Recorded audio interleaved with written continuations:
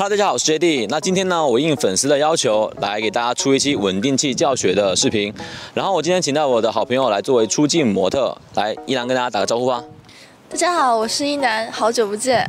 对，那一楠呢，之前也有出现在我的视频里面，就是我之前有拍过两期漫展的 vlog，大家如果想要看他的视频的话，欢迎点击我的视频主页去查看。好，那我们现在呢就准备来开始拍摄了。不过呢，我现在要先换一个镜头，因为我现在用的是五零的镜头。那我们为了能够把这个大景全部拍进去，所以呢，我们要换一个二零的大广角。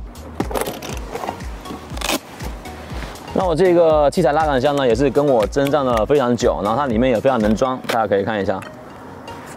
然后我现在呢也有自己在出售这个器材拉杆箱，然后所以大家如果有需要的话，欢迎点击视频下方的购买链接。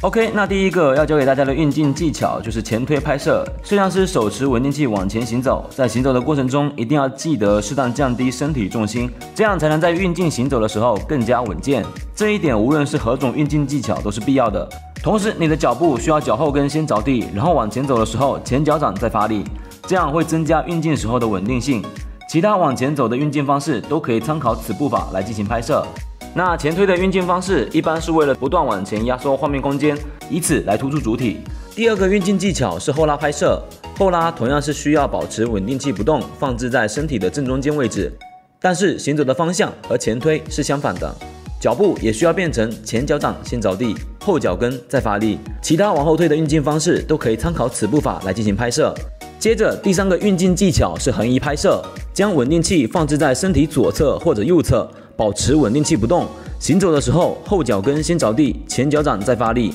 横移运镜我更多的时候会用来跟随人物进行拍摄，并且可以利用环境当中所存在的一些物体，例如柱子、树，甚至是人等等来做遮罩转场，以此增加视频中的亮点。第四个运镜技巧是环绕拍摄，既可以顺时针环绕，也可以逆时针环绕。环绕的时候，稳定器放置于身体的一侧。拍摄人员在往前行进的同时，要一直注视着相机屏幕，不断调整自己的步伐方向与节奏，同时根据实际画面的情况，及时调整稳定器的角度，以此实现居中构图的画面效果。第五个运镜技巧是旋转拍摄。旋转拍摄有一个前提是你的稳定器有旋转的功能，通过稳定器自带的旋转功能，拨动稳定器上的摇杆，实现旋转拍摄的效果。好一点的稳定器还有三百六十度的旋转拍摄效果，对于拍摄长走廊或者其他纵深感较强的画面而言，能够营造出空间感非常好的画面效果。同时，旋转拍摄的时候可以结合前后推拉，增强画面的动感。要是还能再结合镜头旋转的时机，控制下画面中被拍摄人员的动作节奏，那就更完美了。第六个运镜技巧是上下俯仰拍摄，你可以通过直接操作稳定器的摇杆实现上下俯仰拍摄，也可以通过自己的手臂带动稳定器来实现上下俯仰的效果。同样，上下俯仰也可以结合前后推拉的镜头运动来进行拍摄。第七个运镜技巧是低角度跟随拍摄，拍人物不一定就非得拍到脸才可以，有时候拍拍人物的脚步，不仅可以丰富自己的素材画面，还能够给观众提供其他角度的视觉新鲜感。并且低角度跟随拍摄，还能与其他的运镜技巧进行组合，以此丰富画面效果。第八个运镜技巧是上下升降拍摄。进行上下升降拍摄的时候，为了获得更低角度的画面，可以将稳定器置于低角度模式。不同于上下俯仰，升降的时候，相机是做一个垂直上下的运动。第九个运镜技巧是左右横摇拍摄，从左到右或者从右到左都可以。甚至还能以自己为圆心做三百六十度的横摇拍摄，将自己身处的环境做一个全方位的展示。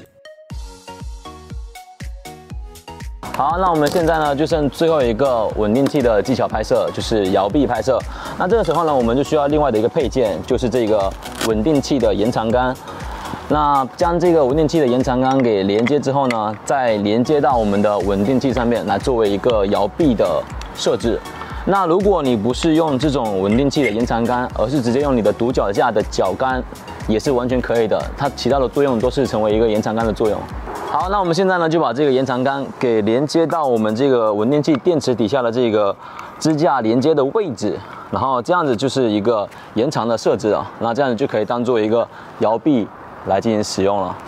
接上延长杆之后，就可以利用稳定器拍摄更高角度的视角。只要杆够长的话，甚至还能模拟航拍的效果。但是缺点也显而易见，如果你的延长杆太长的话，就没办法直接看到相机的画面内容，必须要使用图传才可以。那自己拍了些什么都不知道，就真的是瞎拍。不过如果有其他人员协助拍摄的话，在能看到画面的同时，还能够控制稳定器的转动方向，那这一套高角度的高清拍摄方案，对于有需要的人来说就非常值得考虑了。你也可以像我这样，通过使用摇臂拍摄来营造出不一样的画面效果。